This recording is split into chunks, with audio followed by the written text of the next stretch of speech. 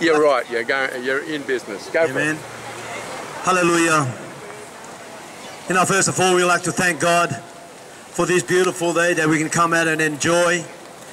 And I also like to thank God for giving us the opportunity to come and say, Jesus loves you. God loves you so much that He gave His only begotten Son.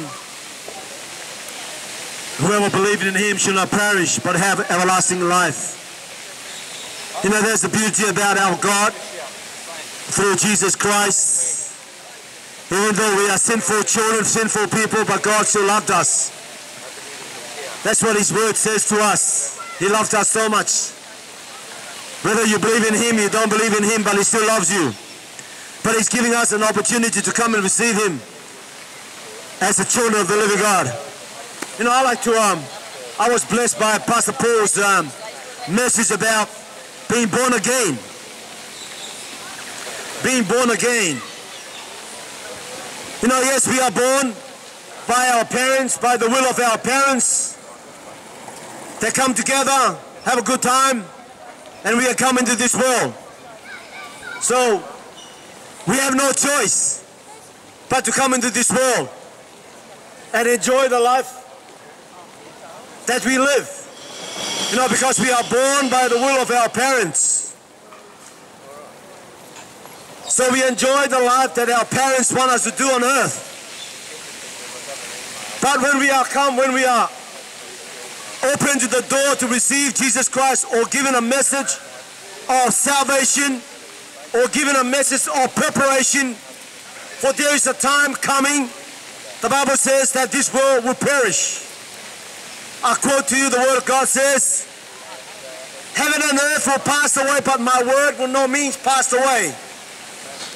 So and also the Bible says, there'll come a time the people that believe in Christ Jesus will be taken to a place that have been prepared through Jesus Christ. So I'm just taking you to a point that you need to be born again. Yes, I told, like what I told you people, you've been born. You are enjoying the world. You got eyes. You can see what you can see.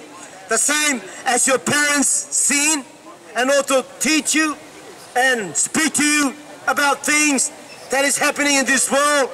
Maybe your parents says to you, son, daughter, go to go to school, learn, study hard, and get a good job. You know, that's a good parents. A good parents, yes. They encourage us to live as a children, as a God, as a, a loving children on earth. But our Father wants us to take further. You know, our Heavenly Father, He wants us to take us further, living in a life that is abundant, living in a life that is so good and peaceful and enjoyment. Not in a life that we are living now, just living just to make it. Just to make it. So, so we can sleep at the night. We're just hoping that night we'll hurry up so we can go to bed and forget all about the pain, forget all about the things, hoping that tomorrow will bring a, a good day. But, but instead of saying we wake up till the same day, pain, whatever that you gone through yesterday will bring back today. So, but Jesus, Paul was talking about being born again. Being born again is not born by the, the will of your parents or by born by the will of man, but born by the will of God. Being born by the will of God. What do you mean by being born by the will of God? Brothers and sisters, it's so easy, so simple.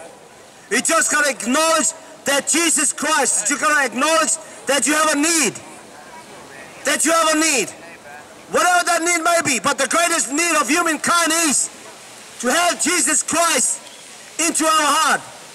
That is the greatest need of every human kind, human being, or every soul that walks on the face of this earth.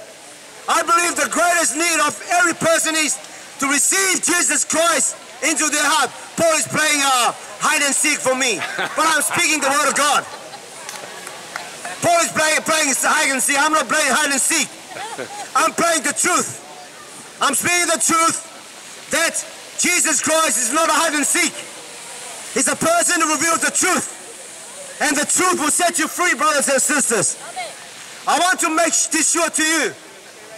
You know, there are a lot of Christians call themselves Christians, but will not make to heaven. Will not make to heaven.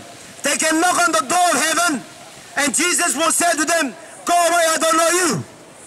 That's why Pastor Paul was mentioning about be born again, have a relationship with the God Almighty. A relationship with God Almighty. Not with the God that you made. With your mind that you think this is my God. Or call anything on earth God. You know, being born again is accepting Jesus Christ fully heartedly. Asking Jesus to come into your heart. Knowing that you need a help. We all need this, in this world. We all, everybody needs something.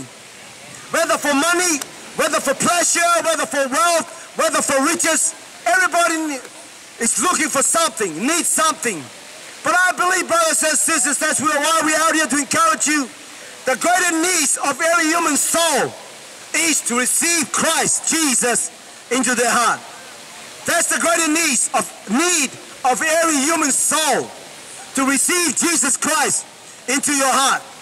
So brothers and sisters, if you're hearing this message and ignore it, it's okay. But one day you will face the greatest judgment. The greatest judgment that is from God himself. You are given the opportunity this day to hear the message and accept Jesus Christ into your heart. Don't hide and seek with Jesus Christ. He's seen you, he saw you, wherever you're going, whatever you're thinking in your heart. God is seeing every flow of your blood. Even he said to us, he knows every number of hair on our head. God knows every number of hair on our head. So imagine yourself, you can hide away from God. No, my brother, don't hide and seek with God. Don't play game with God. It is your life.